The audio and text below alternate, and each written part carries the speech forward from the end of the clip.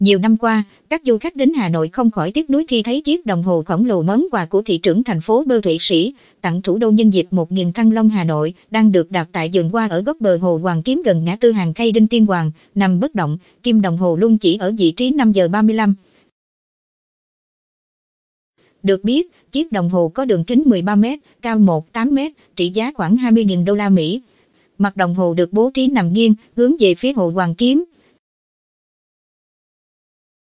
Bên trong lòng kính là bộ máy hoạt động của đồng hồ.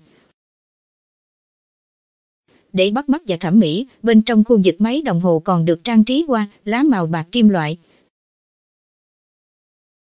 Chiếc đồng hồ không còn chạy, kim đồng hồ nằm bất động.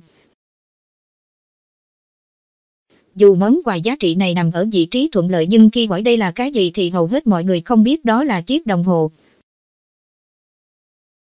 Đây là vị trí đẹp mà chiếc đồng hồ không chạy thì quá là lãng phí. Dù gì nó cũng là món quà hữu nghị của Thụy Sĩ nên cơ quan chức năng nên sửa cho nó chạy và tôn tạo cho chiếc đồng hồ đẹp, bắt mắt hơn, một người dân thường xuyên ra khu vực hồ gương tập thể dục chia sẻ. Hai du khách nước ngoài trầm trồ khi thấy chiếc đồng hồ khổng lồ, tuy nhiên họ lắc đầu vì nó không còn hoạt động. Thật tiếc khi chiếc đồng hồ đặc biệt như vậy lại không còn hoạt động.